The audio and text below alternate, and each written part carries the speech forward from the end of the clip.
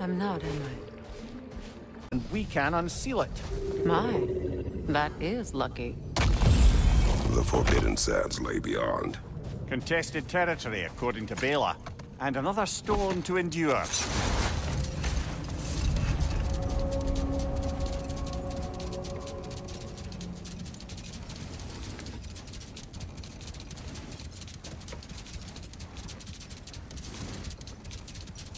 I remember when Freyr and I traveled to this realm as children. The desert was healthy and full of life back then. I can't help but fear that era has ended for good and our efforts here are futile. It's a fair concern. Healing this land will take more than a pair of singing Hafgufa. But I have to believe, in the long run, we're doing right by Alfheim.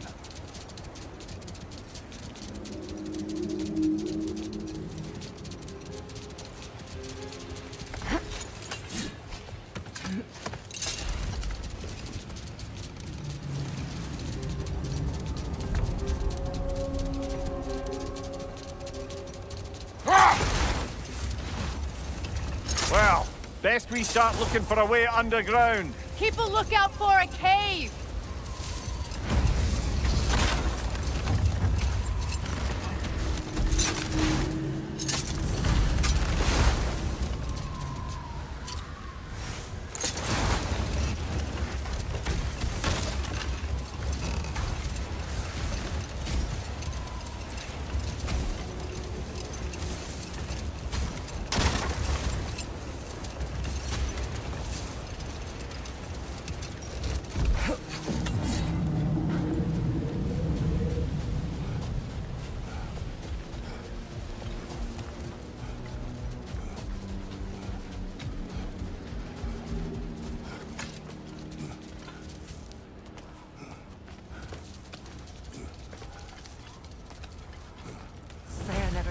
Poorly these lands fared in his absence, did he?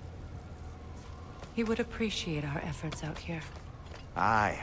Hearing the Song of the Sands again is a rare privilege. Even if it's only a solo act. Or a duet, once this Hafgufa is free.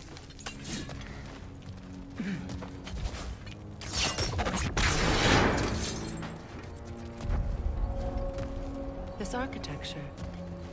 It is not of the Dark Elves. An abandoned ancient settlement by the looks of it. Built long before the Lightwell's creation. More hive matter as well. I'd say we're on the right track then.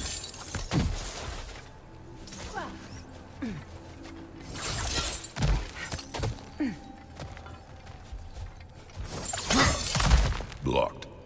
Could I reach it from down here?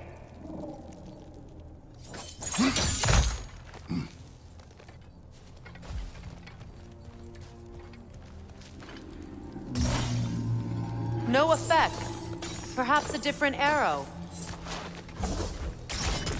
This kind of hive material is sensitive to sound.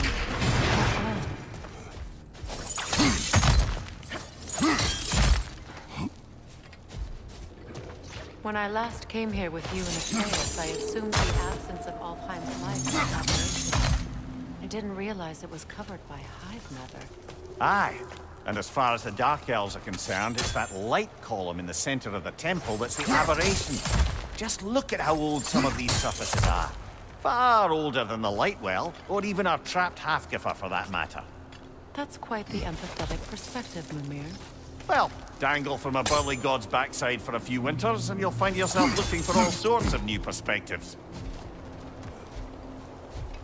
More hive, but denser.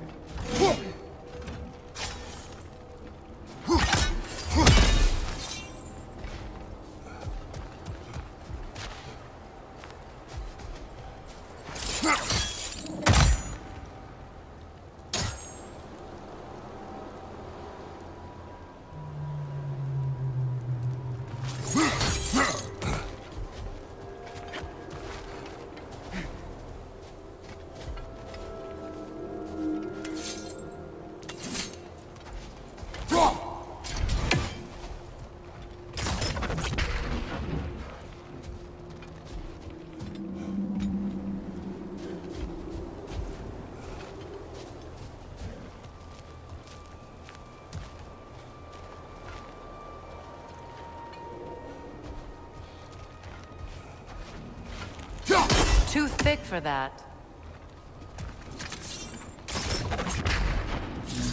Maybe the Twilight Stone on the ground will help.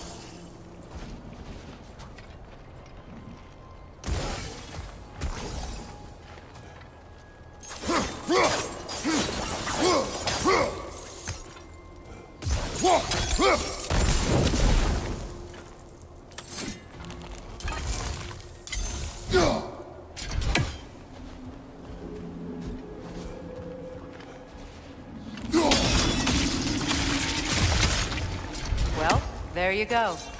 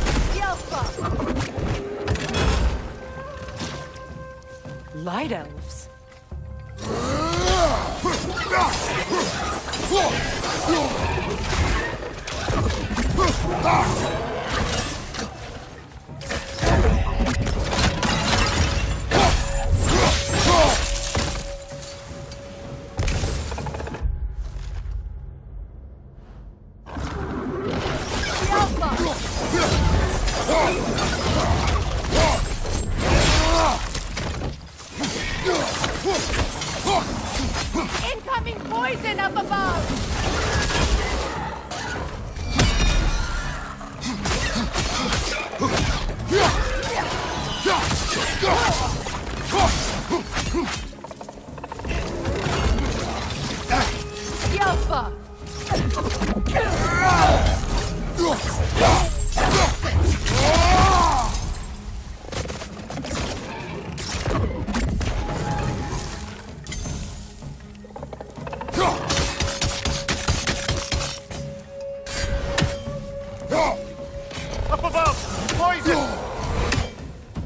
Don't often travel underneath the Barrens, do they?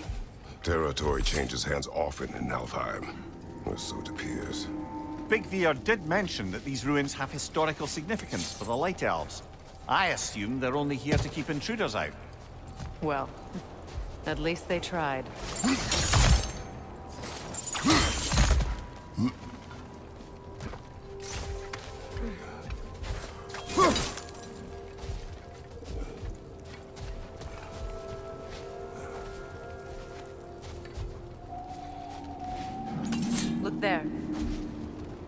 Doesn't like sound, remember?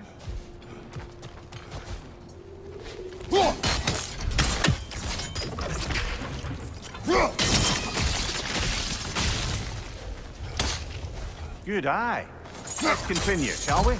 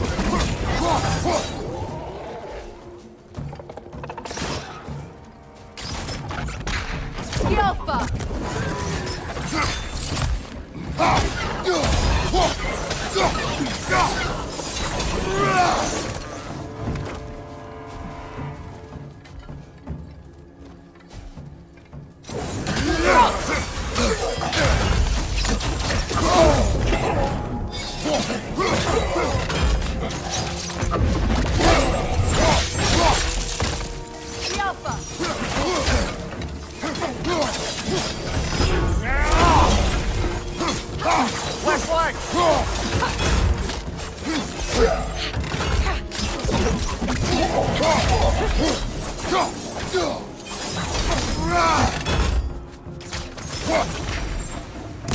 hope freeing these Hafgufas will allow them to breed again.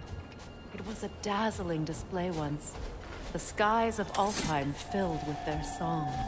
I imagine it's the lack of fresh light that's caused this pair to grow abnormally large. No use in having babies if there's nothing for them to feed on. Trying to protect their children from a harsh world. I can relate.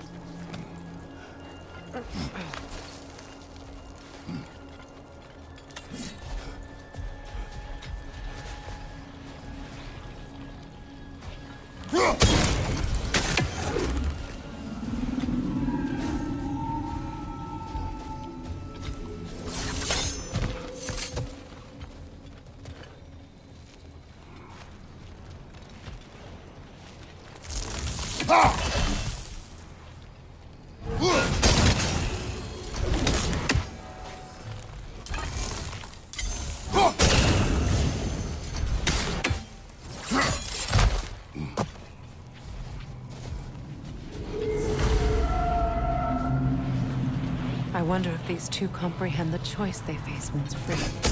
What choice do you speak of? The life cycle of the Hafgufa. In order to breed, they must pass on their light to their children. And without light, they will die. I suppose that's all any of us can hope for in the end.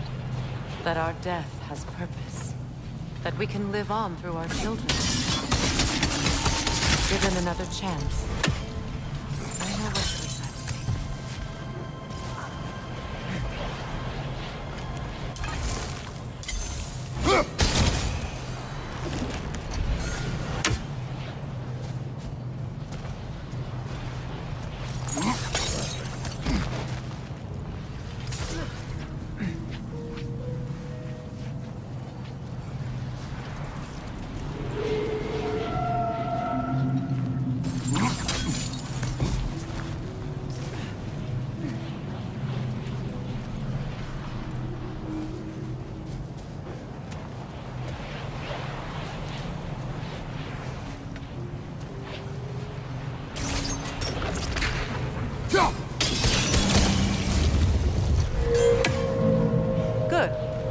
Almost there.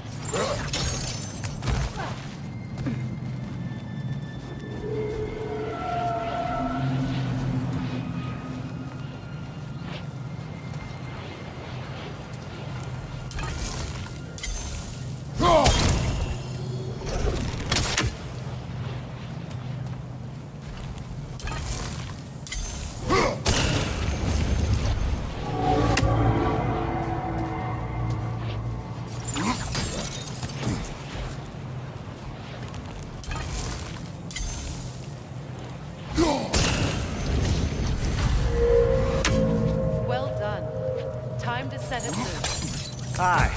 Back to the surface then.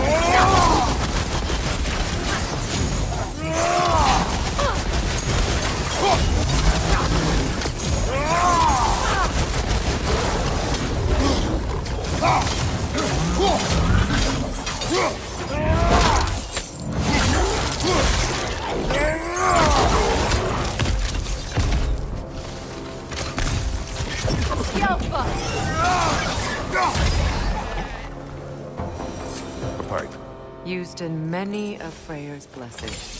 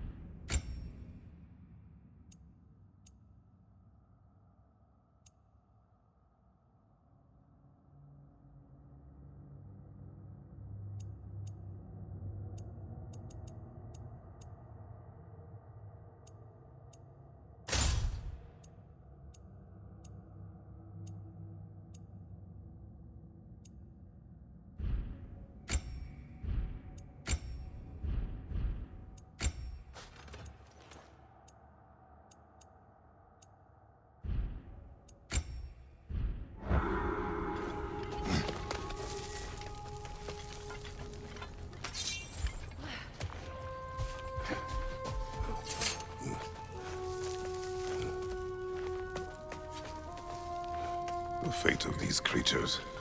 It reminds me of a story. Does it? There once was a blacksmith whose king commanded him to construct a box that could contain all the evils of the world. But no metal could hold such a power. So the blacksmith used the flame of... Kratos, is this a story meant to ease my grief? Perhaps it is just a story. A way to pass the time. I appreciate the sentiment, but...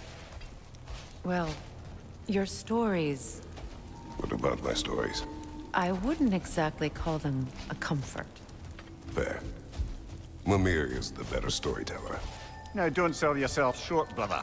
You've come a long way from the days of laconic fables. It's okay. Finish your story, Kratos. The blacksmith's daughter was the key to unlocking the box. He died trying to protect her from those who would open it. Well, at least it's a relatable story.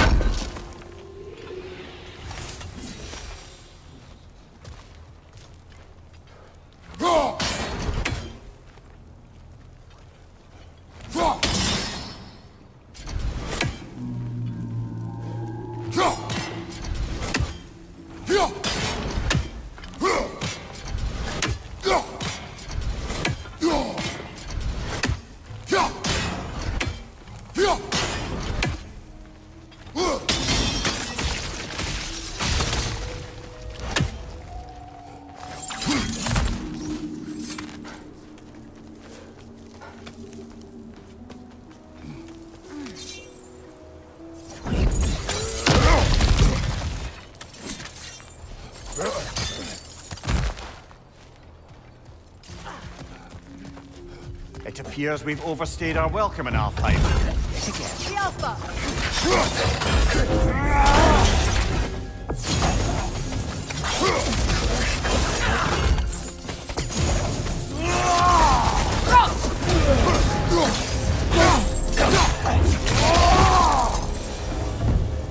Time to end this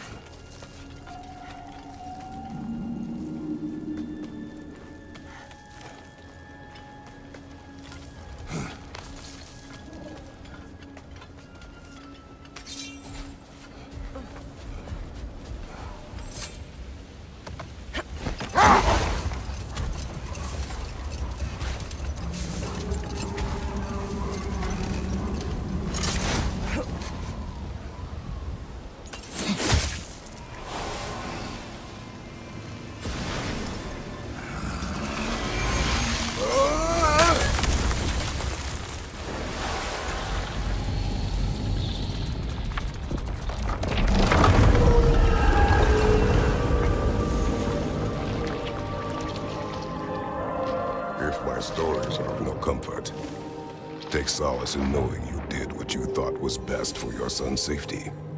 Even these creatures know. There is little choice for a parent. You are not alone. I'm not, am I? And now neither are they.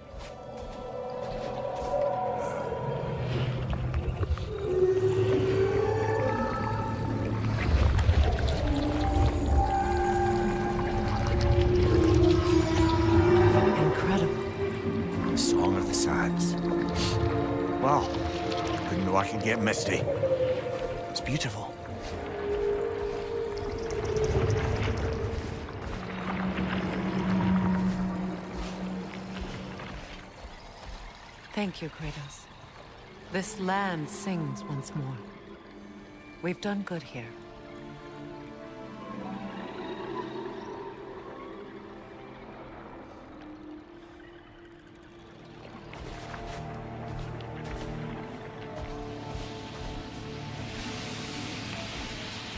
No rush to leave yet, is there? Who knows what kind of adventures await us in a freshly lit barrens?